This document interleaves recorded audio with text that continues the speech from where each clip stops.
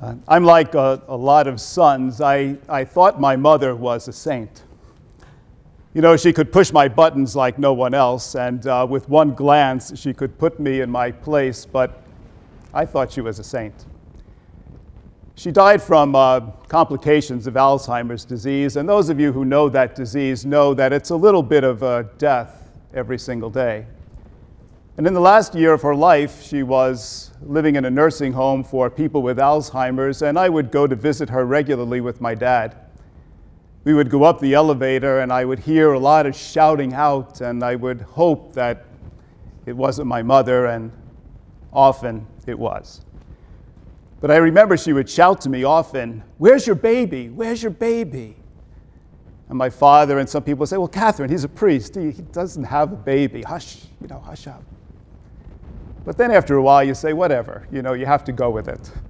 And so I went out and I bought a little doll and I put it in a pillow. And I came up, and sure enough, she would shout out, Where's your baby? And I'd say, Here, here's my baby, Mom. Oh, she's beautiful. What's her name?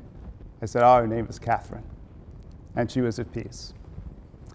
I was thinking of uh, my mother when I was reading this gospel, Bartimaeus, you know, sitting on the side, on the side, all the time on the side, people passing him by, maybe people saying, Oh, hush up, you know, don't be bothering people. Ever felt that way?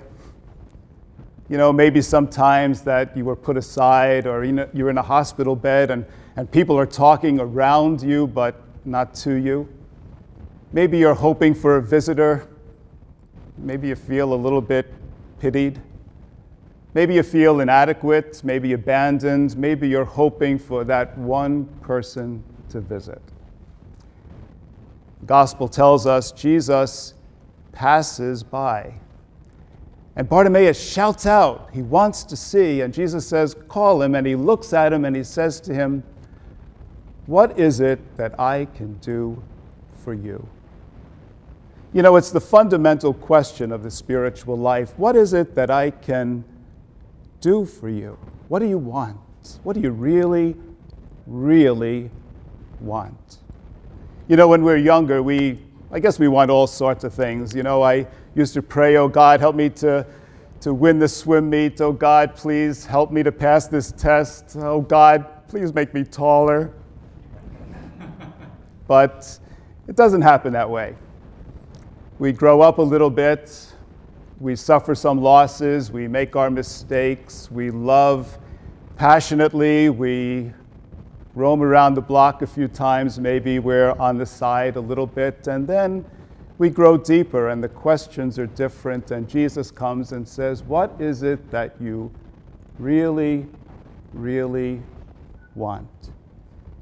And we're able to see with the eyes of faith and our own life experience.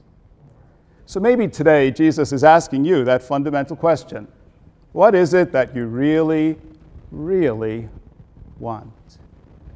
Maybe it's healing. Maybe it's integrating your life.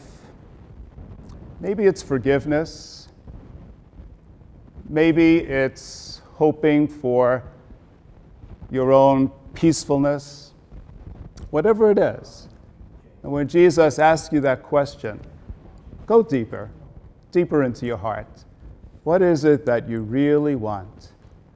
Oh God, help me just to see. May we today all have new eyes. Amen.